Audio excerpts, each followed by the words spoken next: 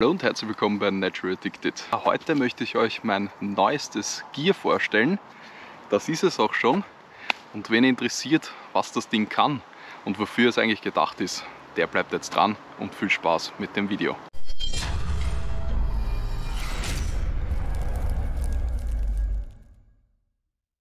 Willkommen zurück zu diesem neuen Video. Und zwar möchte ich als allererstes der Firma Sunnyback ja, möchte ich danken für diese coole Kooperation, diese coole Partnerschaft. War habe ich vor kurzem die Firma Sunnyback angeschrieben und habe gefragt, ob sie mir unter Umständen mal ein Solarpanel von ihnen zur Verfügung stellen möchten, dass ich das Ganze austesten kann und für meine kommenden Touren als Gear, als neue Ausrüstung für euch testen kann. Zwar handelt es sich hierbei um das Solarpanel der Firma Sunnyback Leaf Pro. Das Leaf Pro ist eine Mini-Solarzelle, die speziell für den Autobereich entwickelt worden ist.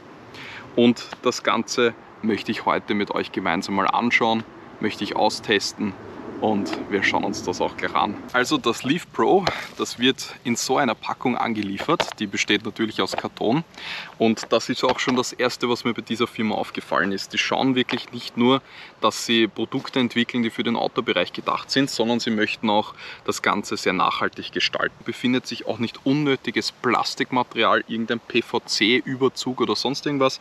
So, wenn ihr das Ding das erste Mal öffnet, da kommt euch gleich einmal ein Zertifikat entgegen. Das sieht dann so aus. Und das ist wirklich sehr, sehr cool, weil da steht wirklich schon alles drauf, was ihr wissen müsst. Was kann das Gerät eigentlich, für welche Werte ist es ausgelegt und wie hat es sich in Laborbedingungen geschlagen. So in dem Fall habe ich jetzt hier einen, ein Testzertifikat, das aussagt, dass mein Solarpanel, das ich jetzt hier bekommen habe, sogar mehr anbietet, mehr Effizienz hat als eigentlich vom Hersteller mindestens angegeben.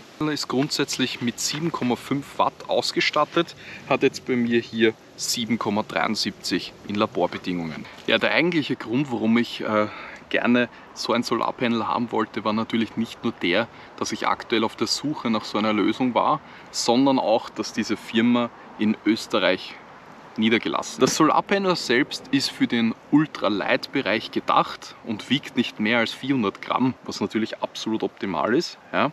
Es lässt sich biegen, nicht knicken, aber biegen. Das heißt, ihr könnt es auch außen am Rucksack perfekt anbringen. Ähm, es hat auch wirklich mehrere Möglichkeiten. Ihr habt außen verstärkte Laschen an jeder Seite, das heißt insgesamt vier. Das könnt ihr dann entweder mit den mitgelieferten Klettbändern, Saugnäpfen oder Karabinern an dem Rucksack, am Balkon, an der Terrassentür, wo auch immer festgeben und könnt dann damit eure Endgeräte aufladen. Auf der Rückseite habt ihr dann sogar noch Haken fixiert, die an jeder Lasche ähm, ja, befestigt sind prinzipiell. Da könnt ihr auch noch optimal Paracord oder sowas verwenden. Das mache ich sehr gerne, weil dann könnt ihr es oben einfacher anhängen und unten mit dem Paracord dann einfach festziehen. Grundsätzlich hat das Solarpanel eine Energieeffizienz von ca. 22 Prozent. Das ist schon relativ hoch, speziell jetzt für so ein kleines Gerät. Dieses Solarpanel drei verschiedene Stufen. Ja. Es hat die Stufe, dass ihr ungefähr bei 5 Stunden euer Endgerät auflädt, ladet bei 3 Stunden und dann auch bei 2. Voltanzahl liegt bei 5 und die Ampereanzahl bei 0,5.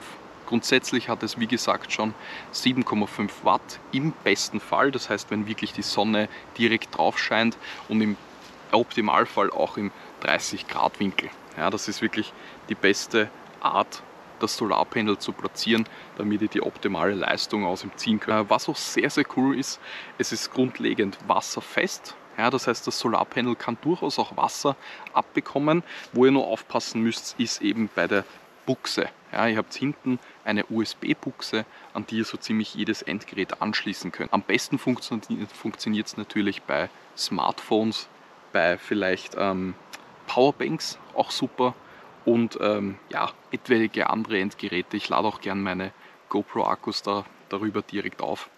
Ähm, was ich auf jeden Fall empfehlen kann, ist, wenn ihr eine Powerbank dazwischen schaltet. Diese funktioniert auch omnidirektional.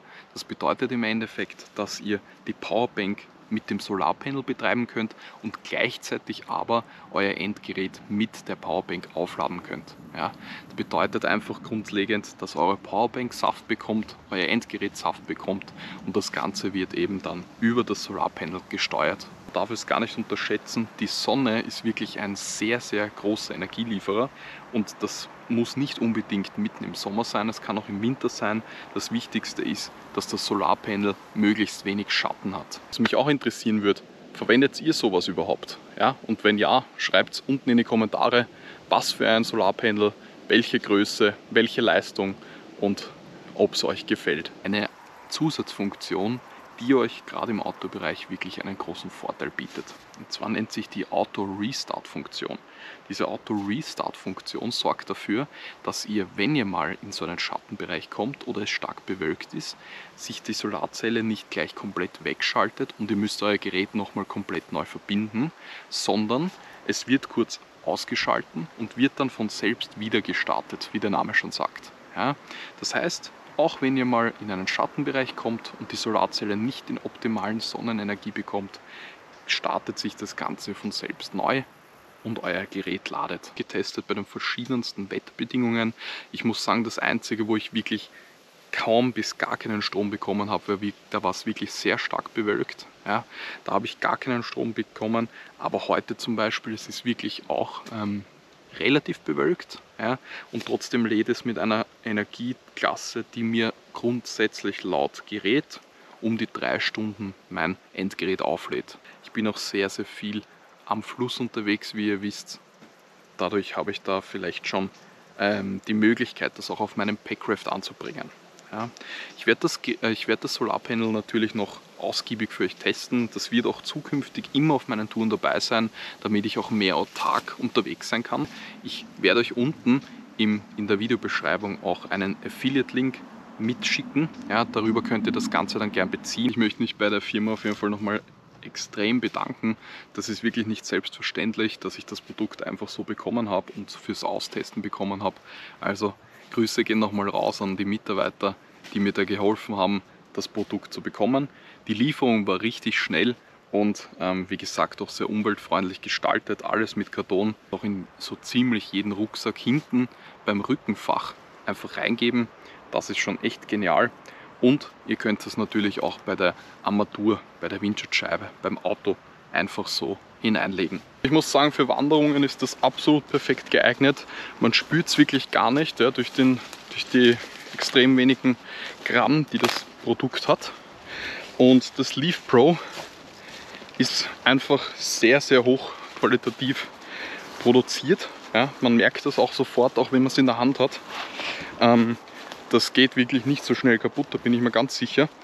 Und ja, also für Wanderungen absolut perfekt.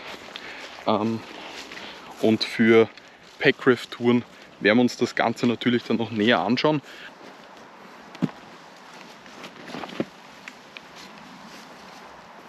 Ich werde jetzt meine Geräte noch ein bisschen mit dem Leaf Pro laden lassen. Aber das war es dann eigentlich auch schon wieder. Ich wollte euch nur ein Update geben, was ich aktuell in Verwendung habe, welche Ausrüstung und vielen Dank nochmal an Sunnyback.